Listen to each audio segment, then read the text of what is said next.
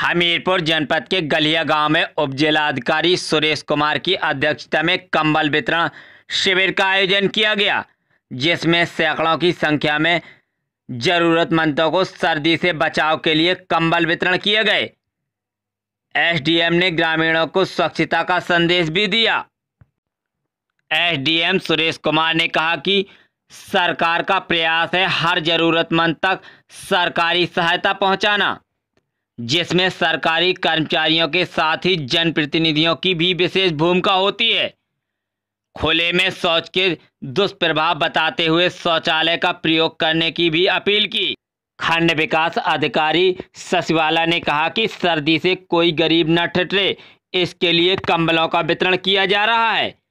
उन्होंने शौचालय के लाभार्थियों को निर्देश दिए कि 10 फरवरी तक शौचालयों का निर्माण पूर्ण कर लें। कार्यक्रम में गाँव के सैकड़ों की संख्या में जरूरतमंद को गर्म कंबल बांटे गए। ग्राम प्रधान देवेंद्र राजपूत ने सभी का आभार जताया।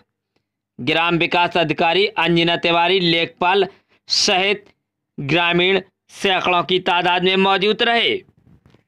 हमीरपुर से यूपी ट्वेंटी फोर न्यूज़ के लिए जिला संवाददाता जयशंकर त्रिपाठी की रिपोर्ट।